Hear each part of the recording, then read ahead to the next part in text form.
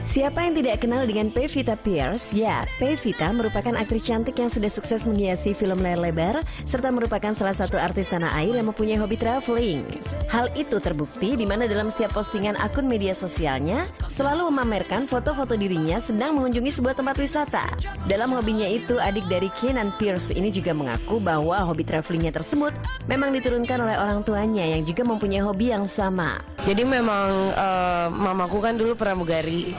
Jadi memang dari kecil udah terbiasa dengan traveling dan juga travelingnya juga traveling yang historical mempelajari uh, asal usul suatu negara dan bagaimana mereka bisa menjadi negara seperti itu sistem kenegaraan. Yang mama aku tipe yang seperti itu. Saya kalau papa aku tipe liburannya yang yang Disneyland atau yang kayak gitu. Tapi kalau aku pribadi aku lebih senang traveling di Indonesia menjelajahi keindahan alam Indonesia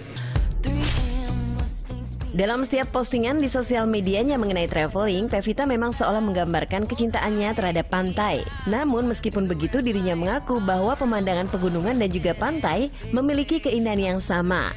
Namun pantai selalu menjadi pilihan dirinya untuk dijelajahi.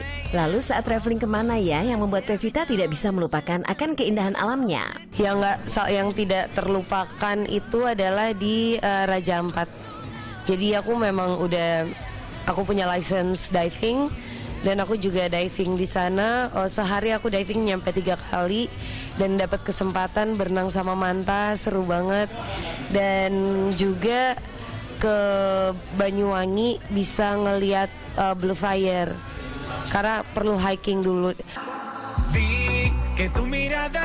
Dalam hobi travelingnya itu, pemain film 5 cm ini kini juga sering diundang dalam acara-acara seminar dan roadshow di mana ia menjadi narasumber yang membahas tentang traveling dan juga keindahan alam di tanah air.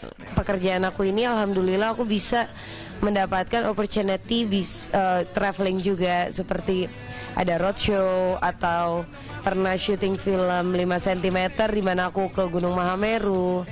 Jadi uh, hobi yang yang dibayar.